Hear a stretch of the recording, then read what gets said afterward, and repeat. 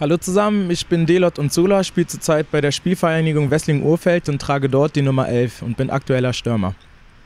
Ich möchte euch heute gerne meine Traumelf vorstellen. Ich fange an im Tor mit dem Alexander Monat.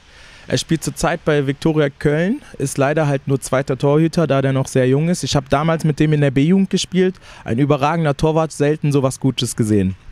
Auf der rechten Seite habe ich den Jan Gran als rechten Verteidiger. Ich glaube, ich kenne wirklich keinen Spieler, der schneller ist als der auf dieser Position und sehr zweikampfstark und ein solides Spiel immer spielt. Innenverteidiger habe ich einmal den Stefan Heiler und den Benedikt Seger. Stefan Heiler, ich kenne den seit klein auf.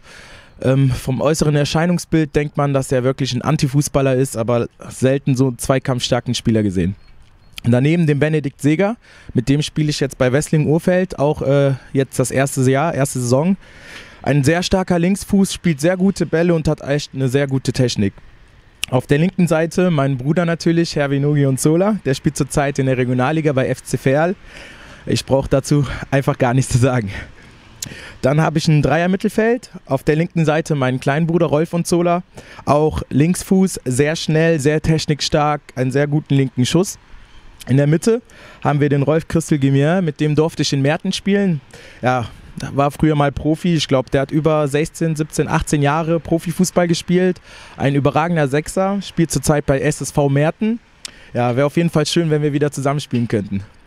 Auf der rechten Seite habe ich den David Strack, mit dem früher in Merten gespielt. Jetzt haben wir uns wieder in Wessling getroffen, spielt jetzt auch zurzeit bei Wessling Urfeld wie ich. Überragende Technik, überragender Spielmacher und wenn er will, kann er echt Großes wirken auf dem Platz. Vorne im Sturm habe ich einmal rechts Kinito Proenza. Ich habe mit dem Proenza hier bei Wessling quasi letzte Saison spielen dürfen. Dann hat er sich leider schwer verletzt. Ich habe noch nie so einen Spieler gesehen, der wirklich so technisch dribbelstark ist. Und der hat in der letzten Saison, glaube ich, elf oder zwölf Meter rausgeholt, weil den einfach nicht anders zu stoppen ist, außer mit einem Foul. Deswegen spielt er bei mir rechts vorne. Im Mittelsturm habe ich den Daniel Tonke. Ja, den kennt man natürlich auch. Äh, mit dem hatte ich echt eine super Zeit in Merten. Ich bin mit dem aufgestiegen. Wir waren das beste Sturmduo in der Landesliga zusammen. Wir haben beide zusammen, glaube ich, über 30 Tore geschossen in der Saison und das war echt einfach nur wunderschön.